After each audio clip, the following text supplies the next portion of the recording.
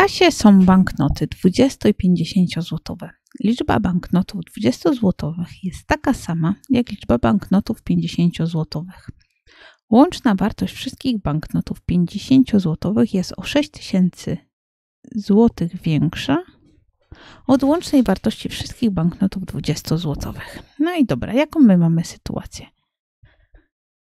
Więc tak, oznaczmy jako x, co to będzie? To będzie liczba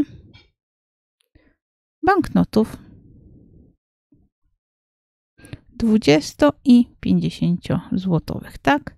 Dlaczego to samo? Bo tu mamy informację, jest taka sama.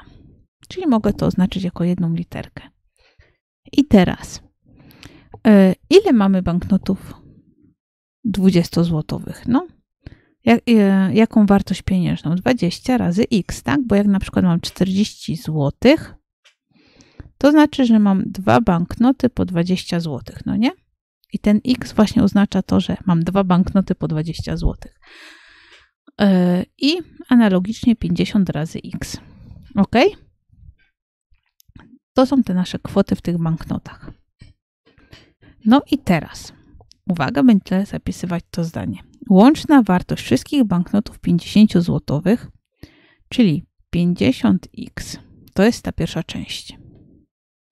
Wiesz dobrze, że ja lubię słowo jest zapisywać jako równa się.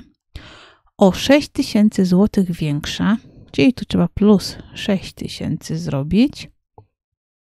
Od czego? Od łącznej wartości banknotów 20 złotowych, czyli 20x. To przerzucam tam. 50x minus 20x równa się 6000. Mamy 30x równa się 6000. Dzielę obustronnie na 30.